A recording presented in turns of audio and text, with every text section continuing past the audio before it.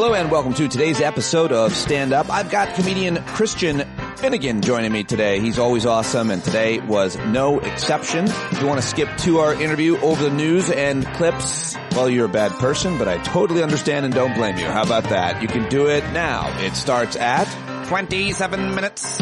Well, you'll miss out on all the great things I have to say and offer you in these first few minutes of today and every day's episode, including that I'll be headed to, looks like Pennsylvania and Michigan. I'm trying to figure it out right now. I had so many unexpected things happen and I am very eager to get out on the road and try to get out the vote for Democrats. So I will let you know in the email and in the Discord and right here on the podcast the moment I know exactly where I'm going to be, when I'm going to be there. Sorry for any confusion. Very happy to have you here joining me. Thank you for all of to all of you who joined me at last night's hangout. We had uh, over 50 people, I think, or maybe over 60 people at one point hanging out with us. We were there for about three hours. We had a great discussion, played a lot of clips, laughed, made fun of each other, and supported each other as always. It was a great hangout, and if you want to watch it, relive it, the link to that hangout is in the subscriber email. If you're not a subscriber, I wonder about you. How did you get here? How did you find yourself here? How much of the show are you listening to? Could you spare $5 or more a month? Patreon.com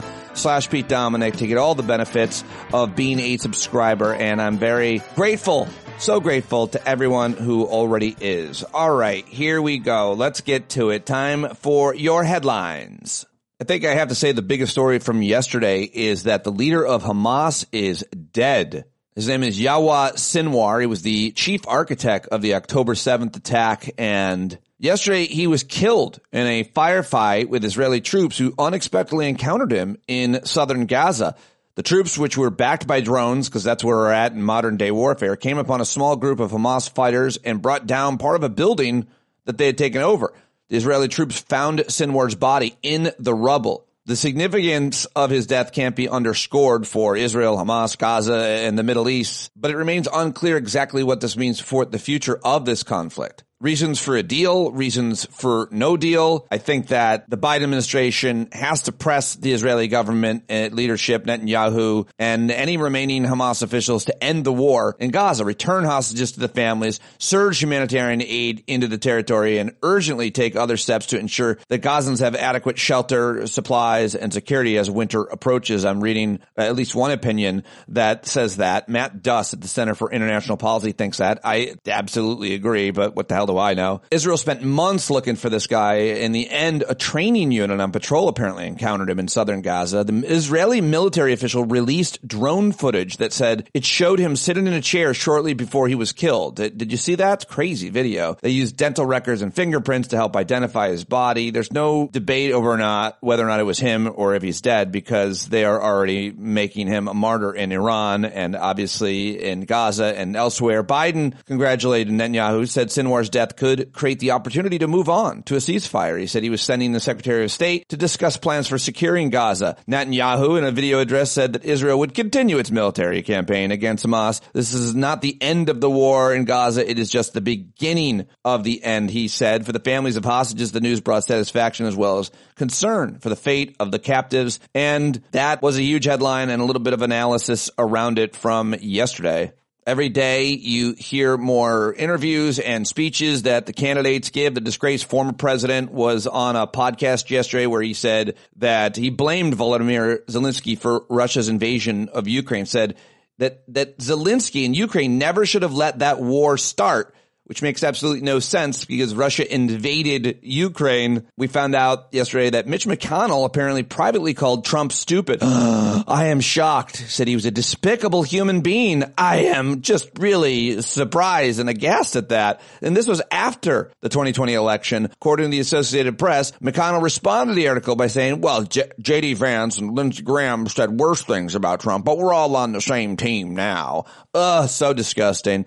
As for the Harris campaign, she uh, was with Mark Cuban in Wisconsin, making her sixth visit to the state since entering the race. She accused Trump, who recently described January 6th as a day of love, of gaslighting Americans. Talked policy and what she wants to do for the American people. And in more news, the Biden administration yesterday announced it had forgiven federal student loan debt for more than 1 million public service workers, which is an amazing story and news. I love that. U.S. prosecutors charged a man they identified as an Indian intelligence officer with trying to orchestrate an assassination on U.S. soil from abroad the Texas Supreme Court halted the execution of a man convicted of killing his two year old daughter. The case has drawn scrutiny because of the role that shaken baby syndrome played in his conviction. The U.S. military struck five underground weapons facilities in areas of Yemen controlled by the Iranian backed Houthi militia on Wednesday using warplanes that included the B 2 stealth bombers in an attack that could serve as a warning to Iran as well and I think I mentioned this yesterday, but worth mentioning again. In the latest series of settlements, the Archdiocese, the Catholic Church of Los Angeles, the nation's largest branch, Archdiocese, has agreed to pay $880 million to 1,353 people who say they were sexually abused as children by Catholic clergy. The settlement, which experts said is the highest single payout by a diocese, brings Los Angeles' cumulative total in sex abuse lawsuits to more than $1.5 billion. And finally, here's a fun headline. The chief judge, a chief judge of the Northern District of Florida, granted a temporary restraining order against Florida's Surgeon General after the state health department threatened to bring criminal charges against broadcasters airing an ad that they didn't like. The controversy, this controversy stems from a campaign ad by the group Floridians Protecting Freedom, which is behind the Yes on Four campaign, promoting a ballot measure that seeks to overturn Florida's six weeks abortion ban by enshrining abortion rights in the state's constitution. In the 30 second ad, a brain cancer survivor named Caroline says the state law would have prevented her from receiving a life saving abortion. Well, the state, the Florida State Health Department brought criminal charges against the broadcasters who aired the ad, but a federal judge said, and I quote in his decision, to keep it simple for the state of Florida, it's the First Amendment stupid. He wrote, it's the First Amendment, stupid.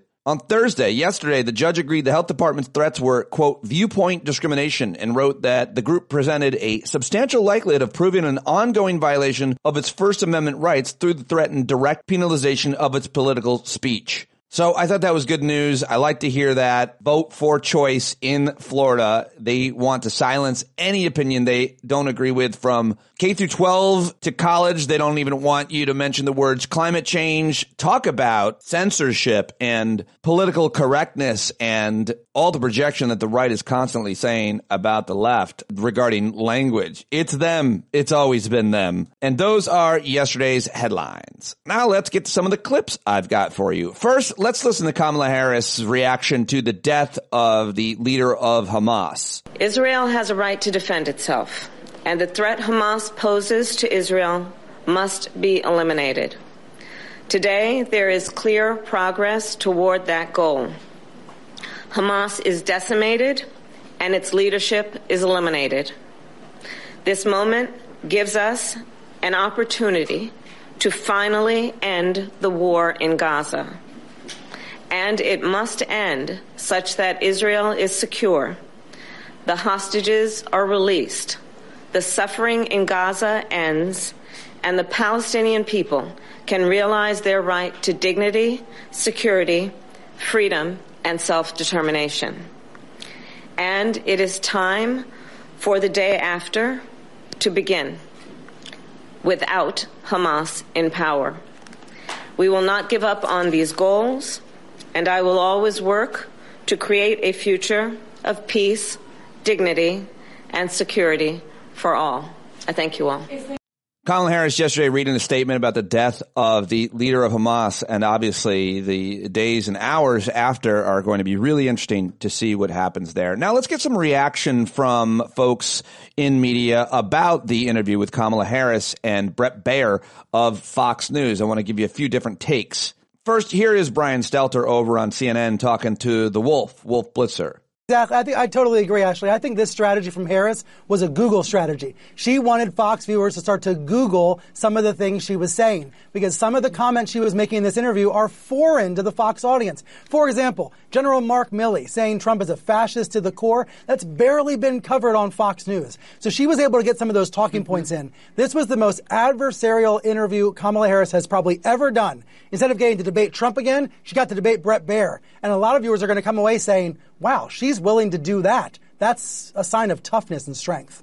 Yeah, it's uh, impressive indeed. Our Exactly. I think I totally agree, Ashley. I think this strategy from Harris was a Google strategy. She wanted Fox viewers to start to Google some of the things she was saying because some of the comments she was making in this interview are foreign to the Fox audience. For example, General Mark Milley saying Trump is a fascist to the core. That's barely been covered on Fox News. So she was able to get some of those talking points mm-hmm. in. This was the most adversarial interview Kamala Harris has probably ever done. Instead of getting to debate Trump again, she got to debate Bret Baier. And a lot of viewers are going to come away saying, wow, she's willing to do that. That's a sign of toughness and strength. All right, there is Brian Stelter on CNN. And here's another take. And for some reason, I cannot find out who this one was. I forget. I pulled the audio. I don't know what it was, but I like the commentary. That was a home run because she sent the one message that needs to be sent, which was, I will go anywhere at any time and show the courage necessary to speak to every American because that's what a real president does. The primary critique against her prior to this point was that she was not doing enough interviews. No one thought that the Fox News interview was going to go swimmingly every step of the way. Everyone knew it would be adversarial, mm. but she showed exactly what she needed to show, which was that she is a leader ready to be president on Did day one. All right, there you go. And now finally, here is Pete Buttigieg on the reaction to Kamala Harris's interview on Fox News, where he always shines when he's on. But given that you have such experience with going on Fox, I mean, did you give her any advice about this interview beforehand?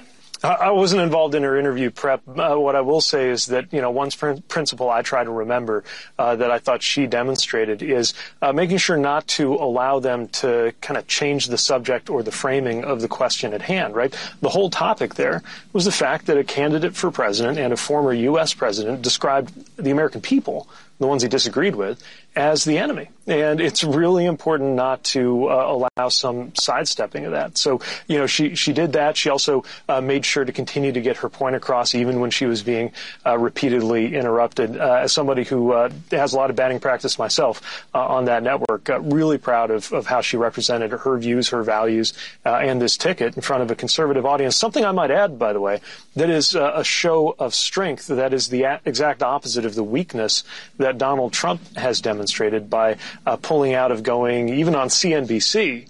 Uh, which is you know hardly a, a, a liberal bastion, uh, or 60 Minutes, uh, where uh, uh, it's it's customary for both candidates to go on.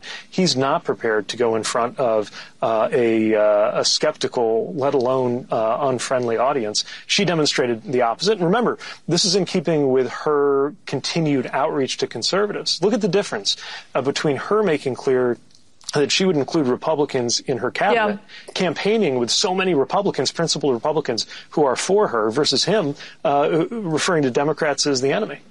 Buttigieg, you've been Buttigieged. There you go. That is some of the reaction from Kamala Harris's interview on Fox News. And now let's go to Kamala Harris herself. She was campaigning yesterday at a rally in, I think, I think it was Michigan. Where was she? It doesn't matter as much as the clip does because she was getting heckled by apparently some MAGA Trump supporters. And this was her reaction, which went absolutely viral yesterday. Oh, you guys are at the wrong rally.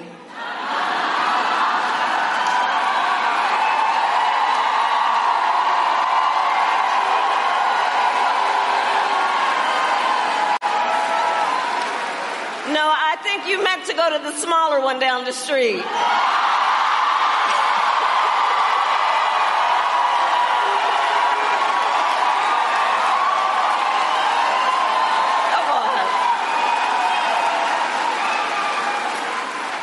All right, there you go. Kamala Harris yesterday, and I thought that was great. Probably the most viral clip I saw yesterday. I thought this was a feel good statistical analysis.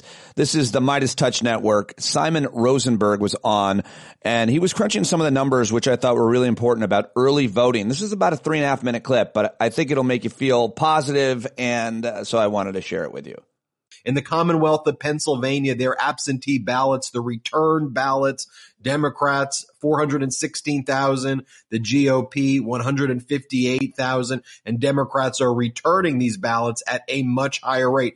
You look at what just took place in Georgia, setting records on the first day of early voting, blowing away past records, 305,000 ballots cast, and you start looking at the counties um, like Fulton County, Cobb County, DeKalb County, Gwinnett County, um, and then you look at the uh, the gender 54.4% female. That's in Georgia. You take yeah. a look at what's going on in Michigan. Nearly 800,000 people have now voted there with Detroit absentee ballot returns rocking at nearly 45%, 9% higher than the statewide average. You take a look. This is, you start to see a trend, right? And you start yeah. to see patterns developing. What are you seeing there? Yeah, I mean, the early vote, it's interesting. The early vote in this election is going to look a lot like 2024 and not 2020 or 2022. It's like every election, it's got its own unique kind of, and I, um, sort of manifestations. And I've been a little bit slow to analyze it because it's, first of all, it's still very early. And also it, there are certain things that are going as we want. There are other things that are, you know, we have to pay attention to. But what's most important is this, is that from the votes that have come in nationally, we are still running ahead of 2020 at this point. Uh, and we won in 2020. So that's a very good sign. We also expect and anticipate that the independent vote is going to be a little bit more democratic this time because a lot of young people who are voting Democratic have registered as independent. So when you look at the poll results of Democrat, Republican, Independent, we don't know how those independents are going to vote, but they're much, they're likely to be marginally more Democratic than they were.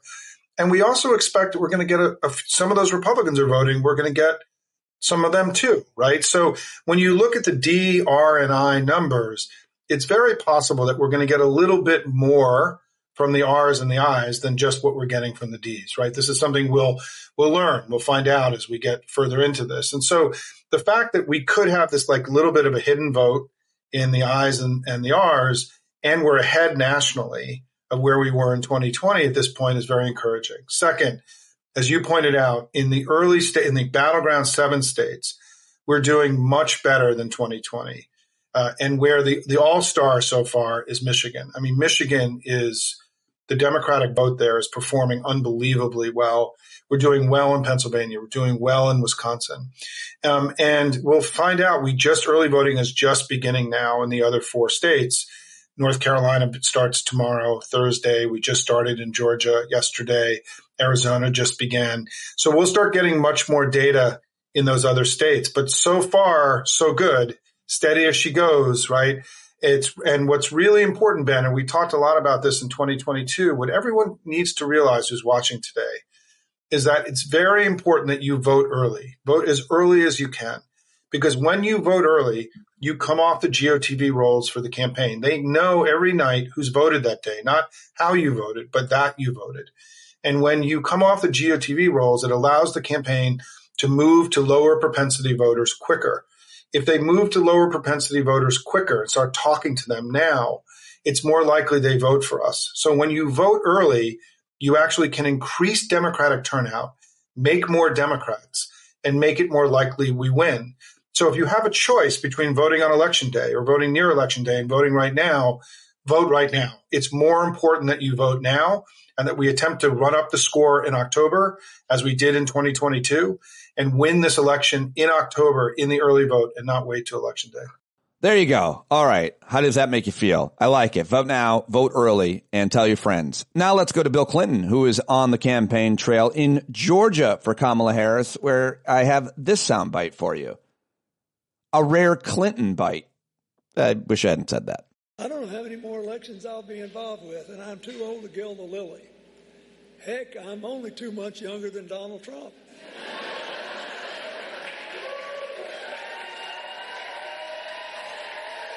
but good news for you is I will not spend 30 minutes swaying back and forth to you.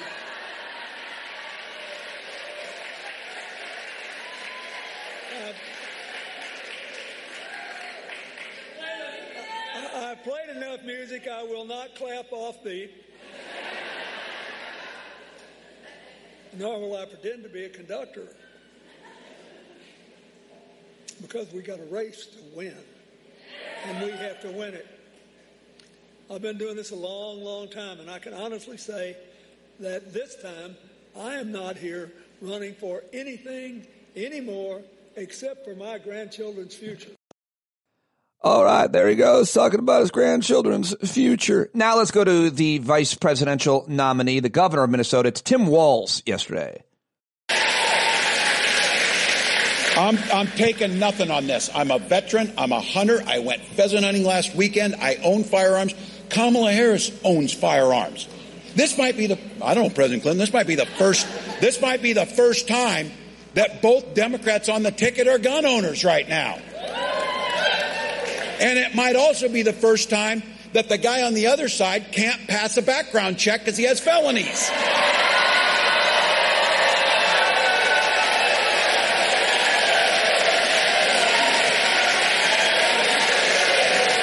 And let's listen to one more surrogate for Kamala Harris. This is Mark Cuban, who seems to really enjoy campaigning for her. A businessman, a billionaire, a white guy, and a pretty effective communicator. Here he is. That small businesses are an integral part of our community, that we grow up with them. And she wants to help those businesses grow because she knows that maybe one of you here right now will start a business that turns into the next Google that turns into the next Nike. And I want all of you to just ask yourself, why not me? Why can't I be the one that starts that, that business? Why can't I be the one that changes the world because I took that first step to start that business and Kamala Harris helped me take that first step? That's why what she is doing is so important.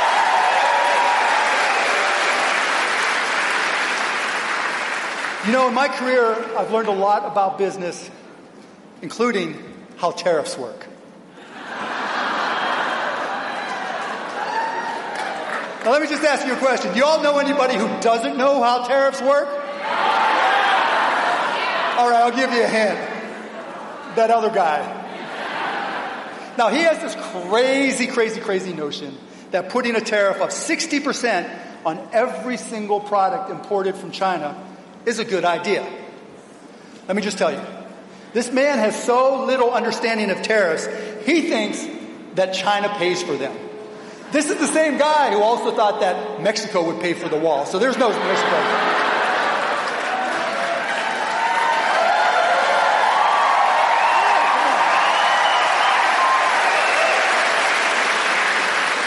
Did Mexico pay for that wall? Hell, no, you said it wrong. Hell no talking about. Yeah, there it is. And one more clip from Kamala Harris yesterday, which I thought was important. Here it is. Consider the comments that he made just in the last few days, because he, he just, he's got more.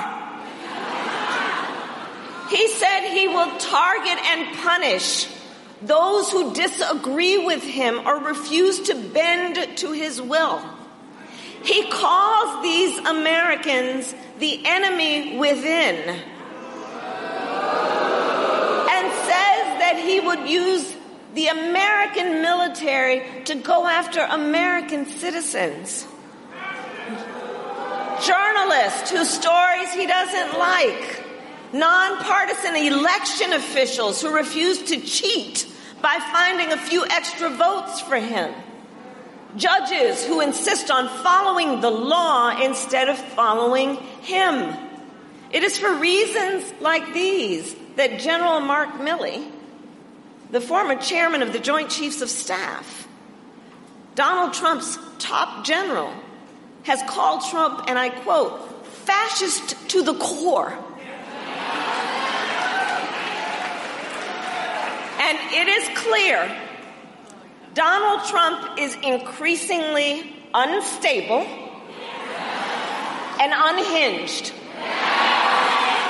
and will stop at nothing to claim unchecked power for himself.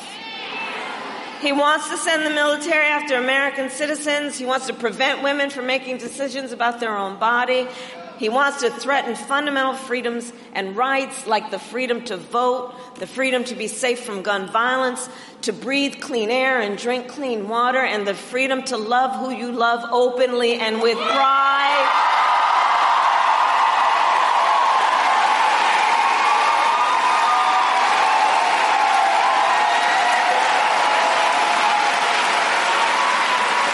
So much is on the line in this election. So much is on the line.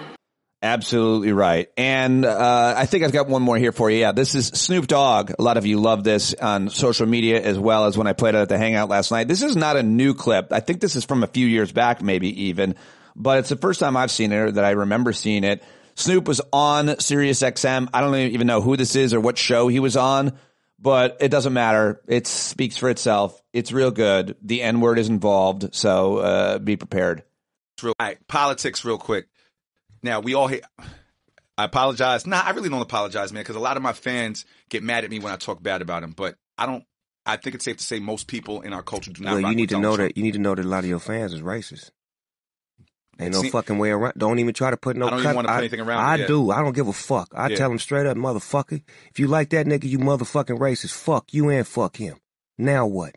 All right. Draw the line, nigga. He drew the lines. Exactly. He drew the motherfucking lines. Before him, there were no lines. Everybody was everybody. We respected everything. We didn't trip. But nigga, when you drew the line, nigga, start pointing motherfuckers out and saying, nigga, fuck y'all then, nigga. Yeah, that's how I feel. You and them. If you're just tuning in, we're Kanye too, Trump. nigga. Don't forget about him too. Fuck you too. Ooh, yeah, I love it. Snoop laying it down. That was very, very good. And to Kanye as well. All right, finally, here is a little comedy for you. It's Jimmy Kimmel's monologue last night.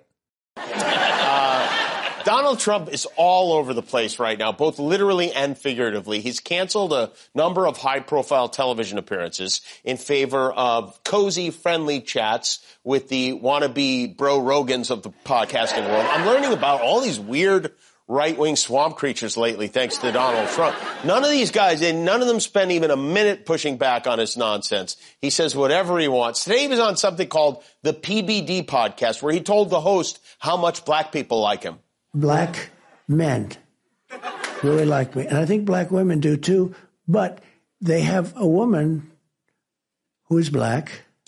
Although you would say she's Indian, but uh, she is black. But she really, a lot of people didn't know, which is mm-hmm. true. And by true, I believe you mean not true. No one didn't know that. Okay. Trump loves to be the keeper of information he thinks no one else has. Chocolate is very bad for dogs. A lot of people don't know that. No one knows how short February is. February is very short. But while his brain may be softening, it is very fertile. His brain is as fertile as a turtle. Did you think you were going to say fake news, or was it just kind of came out and then it stuck? You're like, this is going to stick. Was it intentional? I was don't it... know if that's the first time I've used it, but I do get credit for having, you you know, having been an originator of the term. I mean, you know, a lot of times I come up with, I have a very fertile mind. I come up with very good names for people. Very creative. Pocahontas, Yes. lots of good names. It's very fertile. It's, it's literally full of fertilizer. Yesterday, All right, there you go. Let me get back in here. Thank you, Jimmy Kimmel, and thank you to all of those people whose clips I played, and to you for listening to them. But now it's time to get to my conversation with Christian Finnegan, who hasn't been here in a few weeks. I love to wrap up the week with him. I love to talk with him about anything, as evidence from the first few minutes of this conversation. He's always interesting and thoughtful and original, and he's doing good work right now to try to get out the vote in Pennsylvania. We talked about how you can get more involved as well, and much more. Christian Finnegan, of course, writes the newsletter New Music for Olds. If you like music, and even if you don't like music, like like me, I love music, but I just don't know how to talk about it. So I, I shouldn't say don't like it. I love it. It's always on in my house. I don't know how to talk about it, but this newsletter has gone a long way for people like me that don't know as many artists and those who do as well. It's perfect. Go subscribe to New Music for Olds.substack.com. Follow Christian on social media and get his specials. Buy his comedy specials. Watch them. They're very, very funny. See him live any chance you can get. He's one of my favorites. Let's do it right now with Christian Finnegan. Yeah, Finnegan Fridays. Hey. Woo! Just I don't know. I opened my mouth and that was the sound that came out. I have no excuse for it. I wanted to tell you that I'm trying to be a better father and a better man by my. You should tell your daughters this and not me. Why are you telling me? They know. They know this is why. Christian uh, Finnegan, random childless comedian. I just want to let you know I'm trying to be a better father. this is why you'll be impressed. Maybe. Ava said to me a couple weeks ago that she wanted to take her sister to the Billie Eilish concert in Madison Square Garden. I was like, you absolutely should go. I'll, I'll buy the tickets. But I feel bad because I never took them to a concert. And so I bought the tickets, as are all tickets. They're pretty expensive for tickets to things. Mm-hmm. And I don't know who can possibly afford these things. You have to save up forever. And I did. And they had an amazing time at the Billie Eilish concert. And I didn't go with them because I thought better just to create that moment for them. And it yeah, worked. they're not they're not nine anymore. Like you know, right? That's um, where I'm looking for my award. That I finally took or at least bought tickets for my daughters for a musical, live musical concert, something I never did and carry around shame. I think I did a really good job with my girls in terms of trying to do things and be present and give them opportunities, but that's something I missed. That is a lot to go on a coffee mug. I'm not going to lie to you. Rather than just world's best dad, I really try to give my daughters a lot. I didn't finally got them tickets to a concert which I never had the time to go to, and they had a great time. And I didn't want to. Yeah, it's a lot. Just really small font. Congratulations on being a good dad. Yeah, it's going to. Did you go to concerts like growing up? Not did a you lot. have a Not a lot. My my parents amphitheater or something? No, my par- my parents didn't. What did you say? Like an amphitheater? Like we had like a Worcester Centrum. Did Yeah, you have had- the big? What The was the Syracuse- Syracuse concert venue? Yeah, the Syracuse War Memorial, the Syracuse Civic Center. Oh, of course. Yeah, yeah. The, the Carrier Dome. But I didn't. I would go to. I saw uh, my first and only concert growing up was when I was a teenager. I went to see Tom Petty and the Heartbreakers at the Syracuse War Memorial. That's pretty good. If you're gonna have just one concert experience, that's a pretty good one to drop. Yeah. My Yeah. very first concert was the Monkees reunion tour. Really? Which I I had so angry that that was my first concert. Yeah. I was dating a girl in eighth grade who was super into them, and so I went on her behest. And Did you then, guys- do we what? Did you hook up? We made out. I think I we very briefly went to. I think she was the first girl I ever went to third base with. That's great. And then two weeks later, she literally broke up with me for a guy who was in Up with People. Oh. During the intermission of the Up with People concert, a German dude named Rolf. You can't she was 14. A German Christian. Yeah. Did you did you have Up with People? Did, did you know what that is? Yeah, it's like a youth Christian group, I think. Not they may honestly they may have been Christian. It didn't occur to me at the time, but they would they'd have like people from various countries, and they would just they were all about global friendship, and let's now we'll have people dance around to Chinese music for 30 seconds, and then we'll have people dance around to whatever, do German beer garden music or whatever. Later, people with Lederhosen would run out and do a little jig, and everybody took turns. It was a, like a live Epcot Center. Uh, I might. I'm, I'm looking it up. I, I might be wrong about it in terms of the. It definitely gave off youth Christian youth pastor vibes. I don't know. I just don't know if it By was. the 1990s, Up with People's themed musical style spectacles were frequently lambasted by critics and mocked by television writers for being dated and seeming phony, if not outright creepy. Yes, Uh-huh. I would agree with all that. And this was probably 86, something like that, 87. I remember a girl that I liked was in that group, and I, I think I thought about joining it. For some reason, I was like, ah, I'm good. I, I got turned off by I think you made a right decision. Yeah. It, it uh, it, well, in, in the fact that this dude, this German dude, Rolf, was going around, I'm sure that Bonnie, this girl who I was dating, I'm sure he was not the only literal freshman in high school that he was hooking up with around the country. Like, what a real scumbag sort of lifestyles to be like, I'm all about global friendship. Now let me finger your daughters. Suburban Yeah. Massachusetts. Sounds yeah. I feel like if you're a young European or any really exchange student and you came to America in the 80s and 90s, you probably did pretty good with if you're halfway decent looking girl or boy, you probably did pretty good because you're so different and that's sexy and cool. Like we had that definitely with a couple of uh, exchange students. and going to Europe too. Like I always, I've always been of the opinion that college girls, women, college women, many of them go to Europe to be who guys are all the time. Do you know what I mean? It's like they go to Europe. Part of the adventure of a of a European trip when you're in college or whatever is to hook up and just be a bit of a uh, bon vivant, shall we say? Some might say trollop. I was dating a girl. We were, I wasn't in college, but it was I was probably 25, 26, and she was going to go to Europe for six weeks, and I broke up with her, and I just said, if when you come back, if we want to start dating, great, but I'm not going to sit here in America while you're traipsing around Europe with your friend, your female friend, like going hog wild, literally. No, I, I, I, I, just didn't want to. I've, I've seen this movie before. I know how this is going to go. And not only did she hook up with somebody when she was in Europe, she got pregnant from him. Wow. So like I'd made the the right decision. I think it's strange how you ended up wording that pregnant from him. I don't know why it made me laugh, but by him, I guess by him would that I don't be? know. uh, yeah. I don't know. It's neither is wrong, but from him just for some reason made me giggle. From him, like he, like it was contagious almost. Yeah, I he think- got he got pregnancy on her. Do you? he sneezed from his penis. You're making you're making me think about how exchange students how we received them. And I remember one guy was from Spain, and one guy was from Italy, and we definitely they definitely came off and we definitely made gay jokes about them. They weren't gay.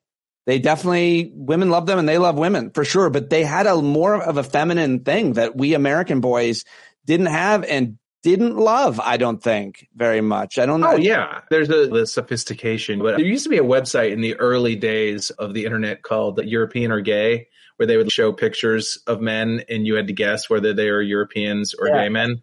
And then there's also lesbian or Midwestern, which is the same general principle. Oh, that's both those are real funny and very judgmental. I wouldn't think they're funny at all, but other Um, people probably laugh at them. No, but yeah, just the fact that I went to high school with a bunch of people from other countries and that they would wear slacks instead of jeans. Things like just silly things like that that just ooh, you're you must be sophisticated. You're wearing slacks on a Wednesday to yeah, school. yeah, for sure, for sure. It felt the same way. I felt the same way. I was a lot worse than than you were. You were a, more of a nonconformist, and I was more of the conformist jock that you didn't like. I think. I was a performative nonconformist. If that Yeah, I aren't mean, all- we're all yeah, that's true. Aren't they all? I was a teenager, like all of us. Yeah. Muddling through, trying to hope people didn't notice how terrified I was of everything and everybody.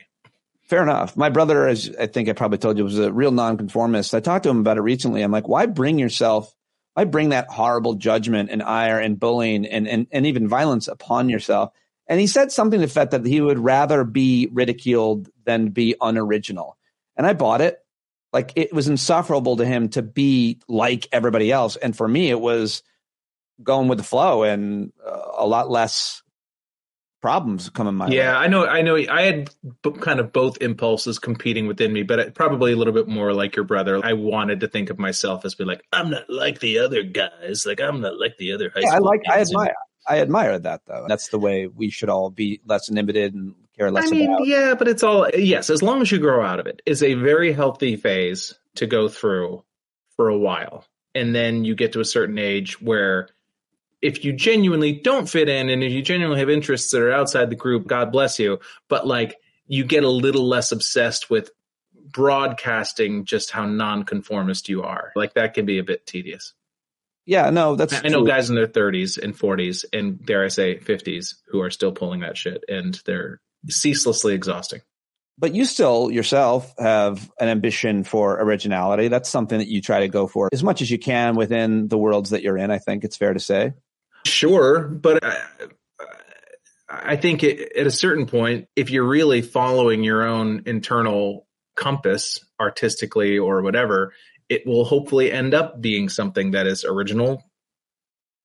You'd think, who's to say? But I don't know. I'm not exactly reinventing the wheel, Pete. I don't think anybody's. No, I, I, I don't think, but I don't think that's what you, yeah. But I think still within the work that you're doing, it's something that you strive for more than a lot of other people. yes, th- yes. To my detriment, it has not worked out super well for me. But uh, yes, it doesn't work out well always when you don't go with the flow. That's the point. Like you get a bigger audience or you have more quote success if you're like everybody else, if you're pleasing, whether it be a, a, a serial or. But I also think I think some people just naturally.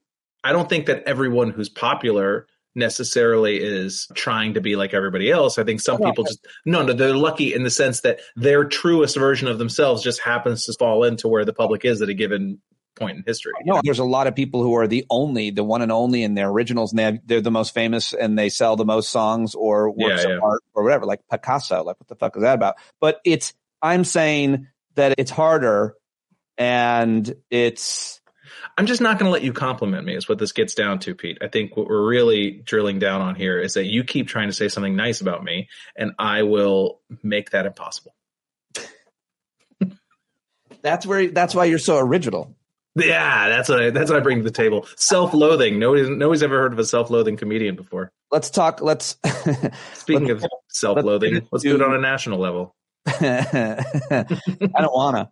Let's pivot to what you and your wife are doing to help Kamala Harris get elected. It's important, and I want in specifically in Pennsylvania. First, what's Cambria doing, and how are you supporting her? And My wife has taken a job with the Harris Walz campaign, and she is helping organize New Yorkers who are taking buses out to Pennsylvania to canvass. There's obviously different field offices all over the country, but this is what she is focused on. And I am assisting in the sense there's a there's like a bunch of buses going out from Brooklyn and from Manhattan, from Queens, and on Saturday and Sunday. And so I am being given like long lists of people to just literally confirm. I am what in what they call the confirm crew. And I was told it was pronounced confirm. I'm not entirely sure why, but I am part of the confirm crew, which is basically just saying, Hey, you said you were going to be on this bus. Can we count on you being there? Because, you know, it's, there's so many moving parts. It, it's not that I didn't know it before, but just seeing how just slammed Cambria is, and she's at the most entry level of this. It's just it's such a machine. It's such a massive machine, and I think if Kamala's able to hold on to Pennsylvania, I think you can thank my wife and by extension me. How do we, if we want to, thanks ahead of time for saving democracy single handedly, I but how do, how do we get on that bus or support her and your work there? You can. Let me find the exact link because I am not professional. Uh, I was just going to say how unprofessional you are for not I having. mean, we can obviously put the link in the show notes as It will be well, which You're just making more work. Yes, I am. That, that is my goal. You know how Uh, hard it is to do show notes? You can go to go.kamalaharris.com slash resources slash battleground states help. Again, Go ahead. no, that's go.kamalaharris.com slash resources slash battlestown battle battleground states help. You can just go to kamalaharris kamalaharris.com and you can navigate yourself there. It'll be very clear and obvious. But this page lists all of the buses for in every part of the country, from the West Coast to the Midwest to Mid Atlantic, everywhere, and also carpool events that you can link up with and all sorts of stuff. And or you can join the Confirm crew with me, which is something you can literally do from your laptop and phone. I've been doing this just all from the apartment. I will provide you that link. I don't have it on me at the moment, but I can provide you that link and that's super easy. Love it. And that website has all the resources. Get trained, talk to voters, make calls from home, connect with other supporters online, use the Reach app to talk to your friends and family, online engagement resources, a whole bunch. And I'll put that link in the show notes.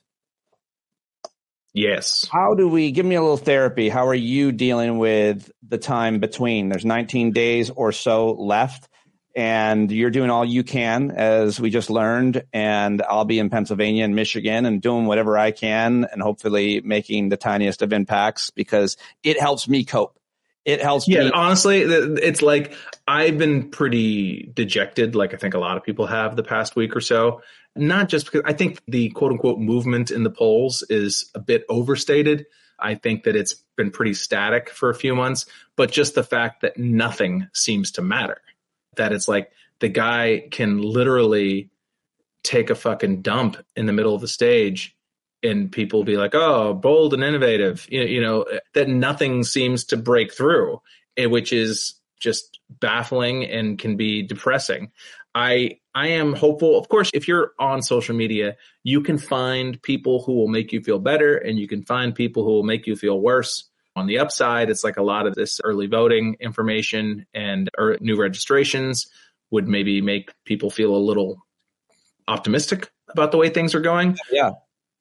But then you hear about Latinos not breaking for Harris the way they have for other Democrats. You can find whatever way you want to feel. You can find a way somebody to make. I have feel. found. I think that's absolutely right. I feel like this week I it started not great notes with some polling that the Sunday shows were, were looking at that I you know don't think too much about.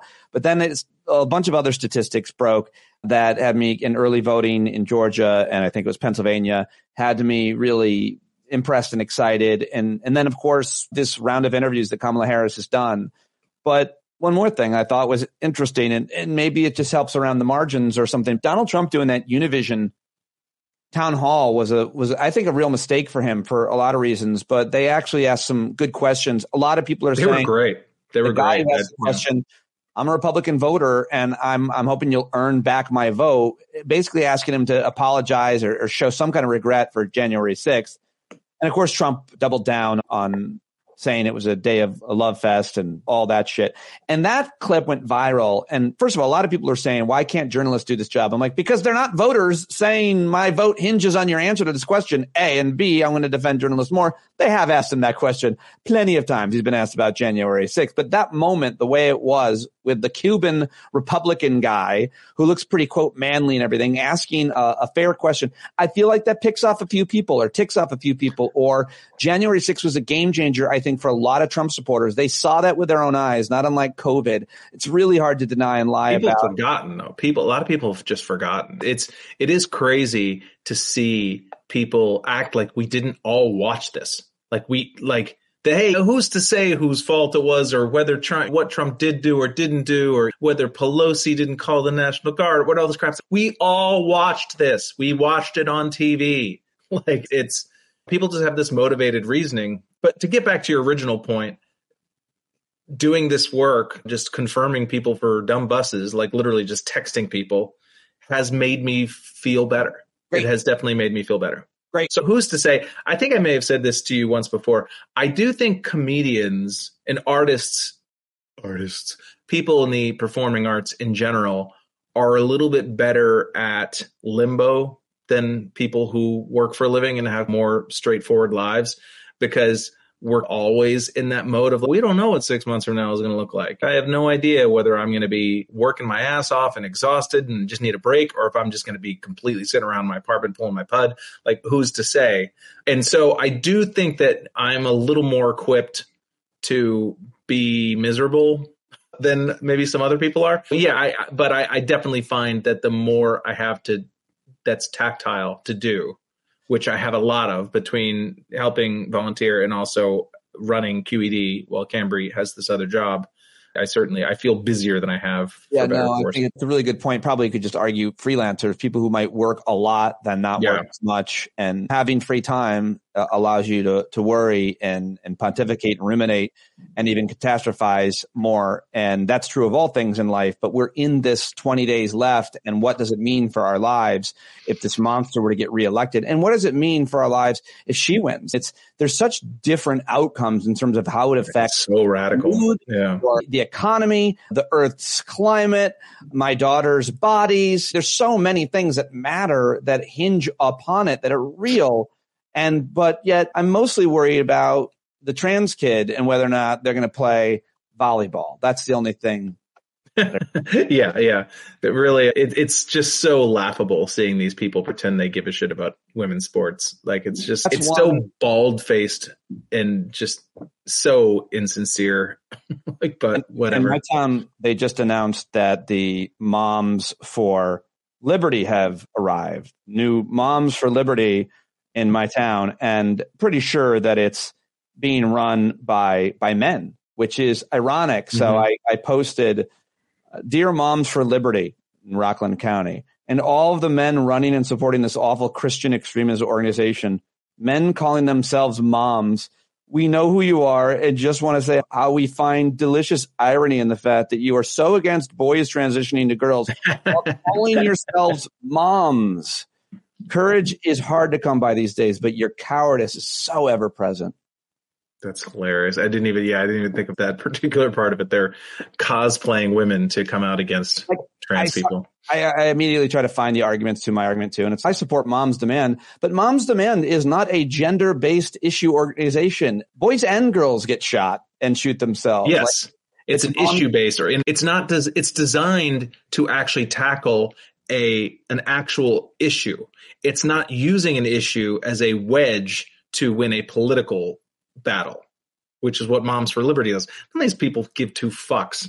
The Moms for Liberty people, not one of them care about trans girls in sports or no, but but they don't care. It, it, they are using that as their entry point to try to gain political power. They are doing that like they hmm. they are appendages of the conservative movement writ large.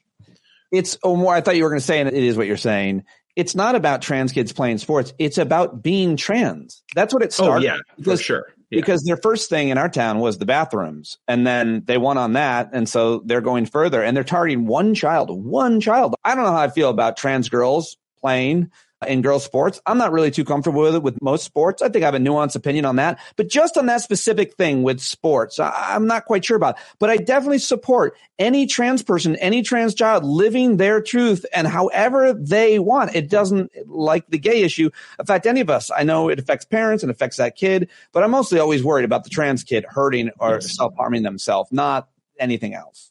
One hundred percent. And I, this is a bit of a leap, but there's a, comedian friend of mine who I worked with a few weeks ago, who's a very nice guy, but he's he writes a Substack, and he's one of these guys who's like the I pick out problems in both parties, and I'm not. Oh, because he wrote something that I thought was dumb, and I told him, and he's, oh, I guess I should just pick a tribe then and be happy with the rewards of being in one of the tribes. But I'm going to still try to find fault in both parties. And it's first of all, those professional centrists, you are a tribe. First of all, you are absolutely a tribe, no more or less than Republicans or Democrats. And secondly, it's there's a difference between. I think these dummies, and I'm including my friend when I say this, who say stuff like that, they act they start from a point of what it the, i want to brand myself my personal brand is as a centrist and i am the person who doesn't agree with either party so i will find the center of wherever that is no matter what the two parties are advocating for which means that they're totally it's incredibly easy for them to be gamed because all the republicans have to do is just get more and more extreme and they will the people the quote unquote centrists will drift to the right just to be in the center still as opposed to saying what are my values as a human being? What are the things I believe in? And then matching up and saying, okay, which party matches my values more? Which is the way it should be. Instead, they put the cart before the horse and they start from the position of, I want to be the kind of person who doesn't buy into what either party is saying. Now, what are my beliefs that then have to follow from that premise? it's I fully agree, and I will only add it's not maybe the word centrist is it, it doesn't cover all of the people who just want to be either contrarian or not quote tribal, but all that's bullshit too because of what you said about when I think about when I when you first said that I cringed or reacted because I was like I'm not in a tribe. I'm for human rights. It doesn't make me tribal. It- it- it's like being for civil rights and human rights is not a Democratic Party thing or a, a progressive thing or even a conservative thing. It shouldn't be. It's it's just equal access, equal opportunity and rights as much as you can create, and certainly not closing the door on people because of the, of the color of their skin, their gender, their Yes. sexual orientation. That's not progressive. It's and also not all disagreements are created equal again not to pick on my friend but it's like the premise of his piece was that indigenous peoples day was the, the democrat version of maga which is a kind of a bit of a, a it's more of a take than an opinion everybody my my definition of take is an opinion that makes you feel naughty uh, but but his whole thing is oh that's the same people trying to imagine that there was some previous world that was better and native americans were just as evil as anybody. And look at all these examples of tribes that slaughtered people which is so goofy. But also it's like the people who are really strict about trying to use indigenous persons day instead of columbus day. Okay yes can they be a bit pedantic? Sure. Can it be a little annoying? Sure. But mostly they're college kids and there's a difference between that and we need public executions, please. Which I will put my prediction, negative prediction down now. If Trump is reelected before the four years is out, there will be at least an attempt to have some sort of public execution on television. Where are you on that? Public executions in general. It depends on the person. No.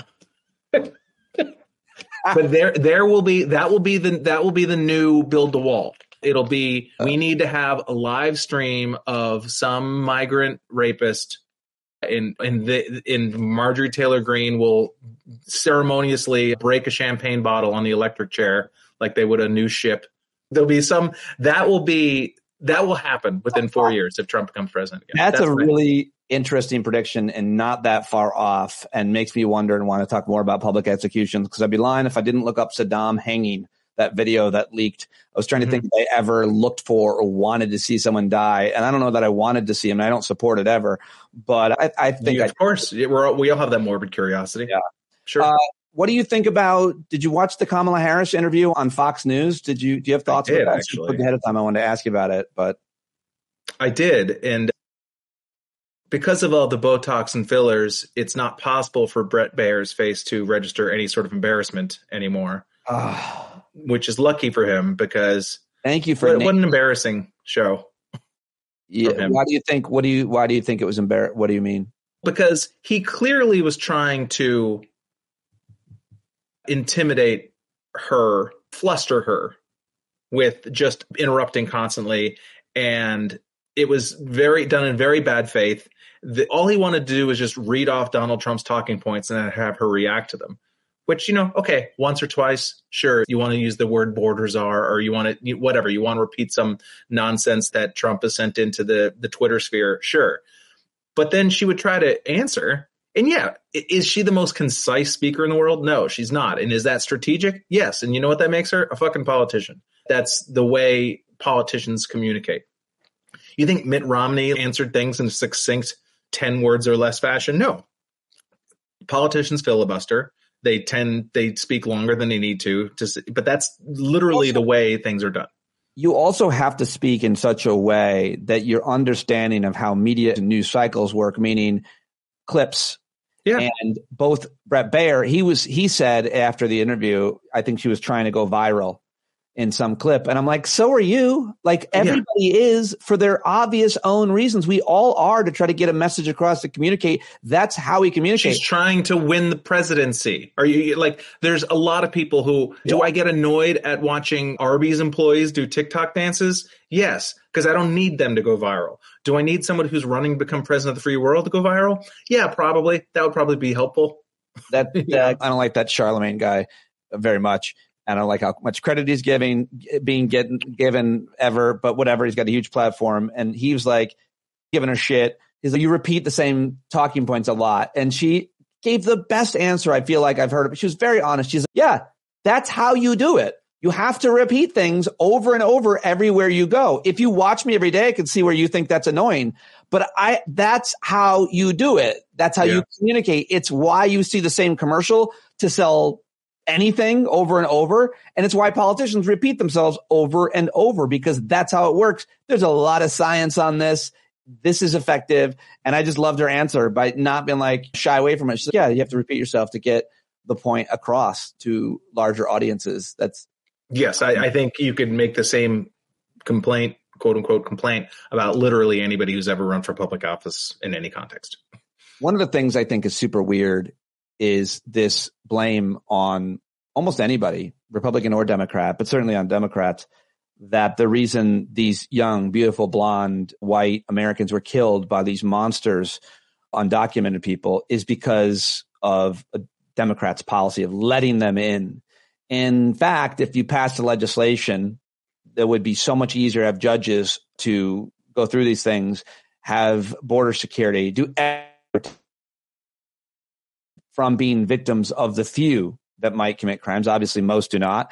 And furthermore, why is it only Democrats' fault when an undocumented person, it's their fault that someone gets killed? It's not, it's never Republican fault for any of the litany of policies from health insurance to fossil fuels to the wars that they get blamed for people's deaths that you really can't if you're going to commit to this policy or not people are going to be in danger. People are going to die. And i feel like republicans never get the blame say for gun violence or other things or they don't get those questions the way that she did. I feel like that's such an unfair ridiculous question but still she answered it with empathy and intelligence in my mind. But you have thoughts about that whole strategy it's not a it's not a surprise to me. And it's just one of those things where it's like you can wish things were fair but they're just not. And i think part of that is the conservative worldview as opposed to the progressive worldview is conservatives tend to want to protect the in group from the out group and progressives want to try to help the out group become the in group become a part of the in group and so it's, it doesn't behoove Republicans to do any to humanize immigrants in any way, shape, or form because they're much more useful as a a villain or as a sort of dark force that you can't know that you don't know that makes no sense to you. They don't have the same values as you. They're space aliens as far as you're concerned. Who knows what they might do? They're wild animals. This is literally the, the terms that are be using, being used now. And when you're of the opinion of no, deep down we're all people and we should try to find the humanity in each other and, and help people become a part of the quote unquote American project, you then open yourself up to those attacks when a migrant or someone from another country commits a crime or does something awful. Because you've tried to be nuanced about it and you've tried to be inclusive you've tried to actually honor the premise upon which America is based which is that give us your tired report. Obviously, I know that's not wasn't the founding documents. It's been our motivating yeah. spirit for the sure. last 150 years. Still, yeah, if you don't know that at this point where we all came from, just by going back to Columbus Day, it's always just. As an Italian, I get so triggered and offended by like other Italians are like, "That's our day." Shut up. We don't have a day and we don't need a day. Like St. Patrick's Day for the Irish, and we could have something, but it's. It, I feel that make a new day. Make a new day. Call it fucking I, Leonardo I like, DiCaprio Day. I don't know, whatever. I don't know. Is, do the Italians take credit for Leonardo DiCaprio? Um, is he the most un-Italian guy of all time? Italian. His dad must be Italian. You couldn't have a more Italian name. I saw some viral thing that says that said he and a bunch of other celebrities have been out of the country since Diddy got arrested. yeah, that's one. That's one I wouldn't shock. Honestly, it would on one hand, it would shock me Leonardo DiCaprio just because he's been swimming in it since he was 15. Yeah. But I mean, by it, I think you female genitalia. yeah. But again, a lot of times those guys, those dudes who are rich and wealthy and have the world at their fingertips, they get into crazy, yeah, gross stuff because there nothing else gets them going. Aspersions on this great Italian American. so close to Columbus Day. So close to Columbus Day. All right, we're so close to Election Day. Uh, anything else that you're watching or that's gone that you've paid particular close attention to or reacted to that you wanted to comment uh, on? The new season of Slow Horses is very good. Oh, okay. Right. That's a show on oh. Apple TV. It's a British. It's like the bad news bears of British intelligence. Like they're. It's about all these sort of washout British British intelligence agents who a British spy thriller television series based on Slough House series of novels by Mick Herron. It's a British series. They're on season four right now, and it's because it's a British show. The episode, the seasons are only six episodes long, which is perfect. Why do British shows have that number of episodes? That's just the way British TV has always been. I think they call it a cycle there. Oh, they don't have the way that America. The same way. Well, America used to be 13 episodes. Used to be like a standard oh. TV season. Um, but then now with streaming, everything's just gone wonky. All right, maybe I'll take a, a look at that. It's good. Like Gary Oldman's in it. Kristin Scott Thomas, who I love and everything. Yeah, it's good stuff. Any other references or suggestions from the great Finnegan? Anything else? I don't know, man. I'm playing the new Star Wars video game. On what platform do you? The PlayStation number five. It's called ah. Star Wars Outlaws. It's it's a great way to throw 70 or so hours down the toilet if you are looking to do that. And as always, subscribe to new music for olds. Number six. Oh yeah, that too. Was the last issue. And do you have anything to say about the music of Billie Eilish? I like Billie Eilish. I wouldn't. I think honestly, for as much as we talk crap about pop culture or whatever, I think pop culture, if you're like a 14 year old girl specifically, is in a better place than it's been certainly in my lifetime. If Billie Eilish and Taylor Swift and Olivia Rodrigo and if these are like the biggest stars, biggest pop stars in the world, that's pretty good. They're all like talented and they actually write music and they do interesting stuff. And I don't know, there it's a lot more admirable than a lot of the crap that was popular when I was 15. So I'm not saying that I didn't bring my daughters to any concerts or enough concerts, but I am saying when I took them to Madison Square Garden and dropped them off last night, they said, "Wait, it's not outdoors." Really? Well, that is a garden. Wow. Yeah. Yikes. Yep. How they didn't know Madison Square Garden was inside. Well, they're both Al Qaeda members. They don't know a lot, apparently. What? Yeah, I never took them to a sports thing like that either. They would never go to a sports event. Never try to tell them who's in Grant's tomb. I don't know. That's the right. All right, buddy. That's perfect. Thank you very much. Thanks, dude.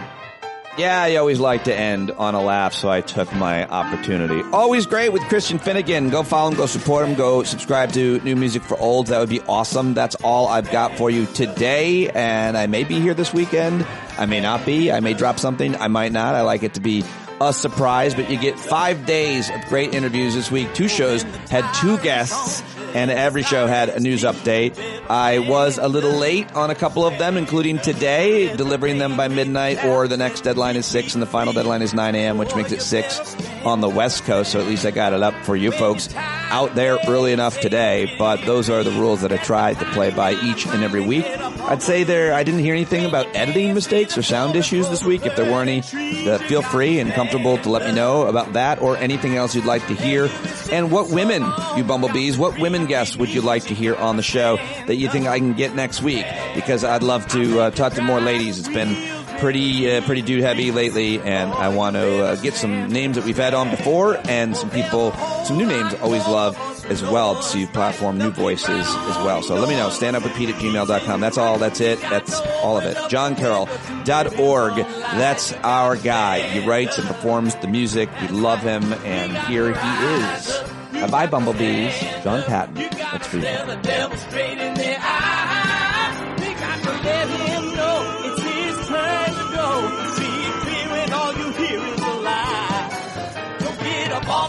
Get down off of your fence. And Even if it ain't a very friendly audience, well, they'll begin to listen when you start making sense and you stand up.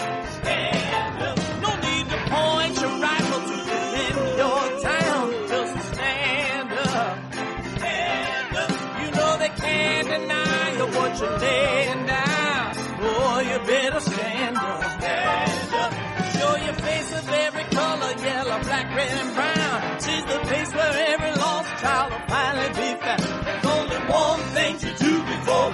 stand ground, and that's stand up.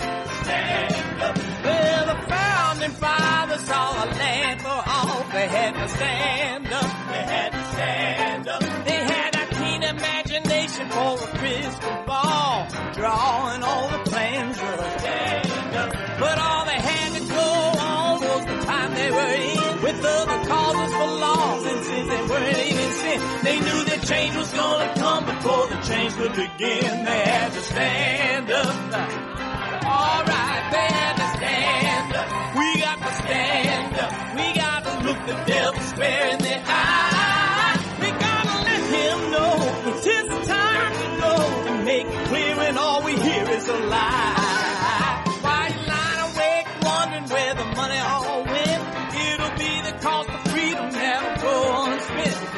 See him flee the scene of that experiment if you stand up. Alright, we got to speak up, we got to reach up and raise your voice in every way you know how. Don't be toes up, you got to show up. Ain't no better time to do it but now. No need to pledge allegiance to no wanton tribe. Rise up show obedience to the voice inside. And listen well and it'll tell you not to run and hide. It says stand up. Stand oh, up. got to stand up. Ooh, come on, just stand up. Everybody got to stand up in the darkest hour. Stand